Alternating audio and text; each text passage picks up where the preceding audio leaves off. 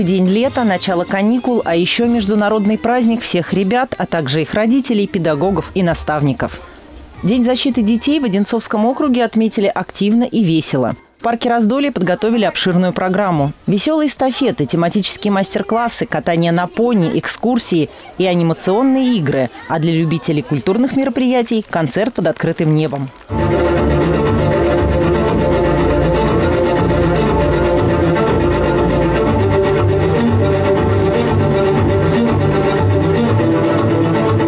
Яркие танцевальные номера в исполнении юных артистов образцового хореографического коллектива «ТОТ» дополняли всеобщее праздничное настроение.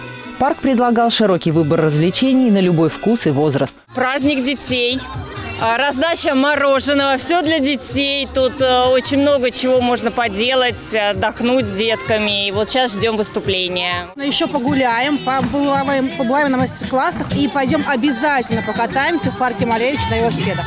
Также в Раздолье по губернаторской программе приехали более 300 детей из семейных центров Подмосковья. В таких учреждениях ребята живут, пока их родители находятся в трудной жизненной ситуации. И подобные праздники для них – настоящая отрада.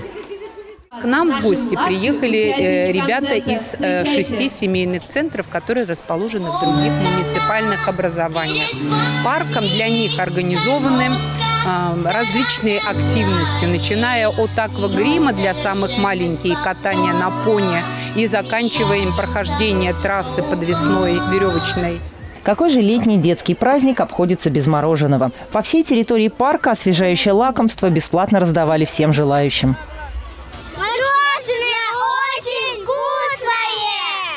В Немчиновском культурно-досуговом центре праздник отмечают по-своему. 1 июня здесь традиционно проводят День детского спектакля. В КДЦ приезжают творческие коллективы из Москвы и Подмосковья.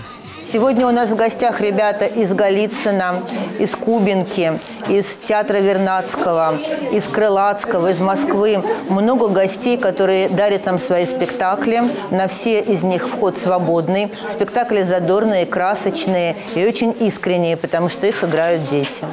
В жаркий летний день театральная студия «Телемилитриам» представила спектакль «Северная сказка» по мотивам якутского эпоса.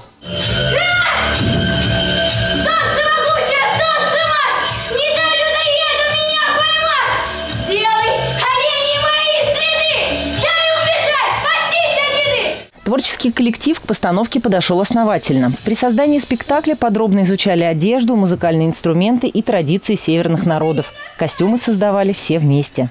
Костюмы у нас э, мы шили сами. Они не просто как бы художественный взгляд, а действительно мы брали э, у якутских народов рисунки, мы вышивали из бисера. Если близко посмотреть на костюмы, то увидим у нас опушка натуральная.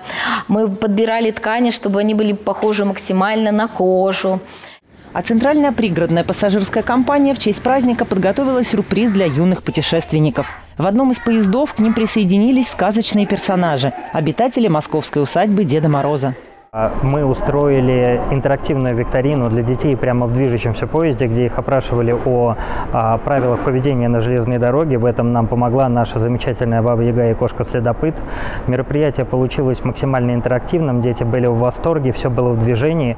В завершение поездки все юные пассажиры получили сладкие лакомства и подарки. Полина Толмачева, Станислав Трифонов, Артем Ломоносов, телекомпания «Одинцова».